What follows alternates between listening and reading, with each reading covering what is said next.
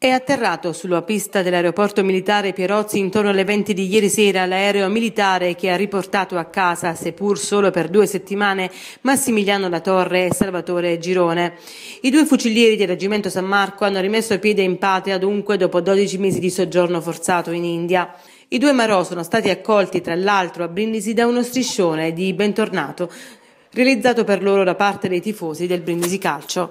A bordo di un'auto militare poi sono stati trasferiti nella caserma Carlotto dove hanno incontrato il comandante della forza da sbarco della Marina Militare, l'ammiraglio Pasquale Guerra.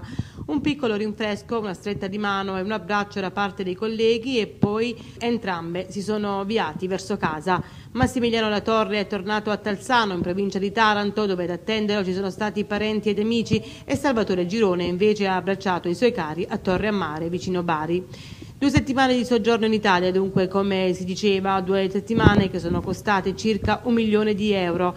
Una licenza particolare, molto costosa, ma i due Marò dovranno affrontare adesso un processo in corso in India per la morte dei due pescatori.